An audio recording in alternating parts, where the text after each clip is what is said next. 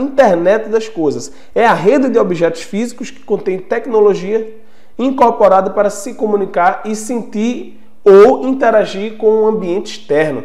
Então essa é a definição da Gartner, tá? Que é uma entidade norte-americana que ela monitora é, basicamente tudo o que acontece no que diz respeito à tecnologia, em específico internet das coisas. Então, a internet das coisas ela tem essa definição, tá? Ela é, são os objetos que não apenas está conectado com a internet, mas eles conseguem se comunicar de forma inteligente para gerar valor, para gerar valor para nós seres humanos. Então não é apenas o objeto estar conectado ao Wi-Fi, está conectado ao Bluetooth, está conectado com algum, alguma outra tecnologia de comunicação.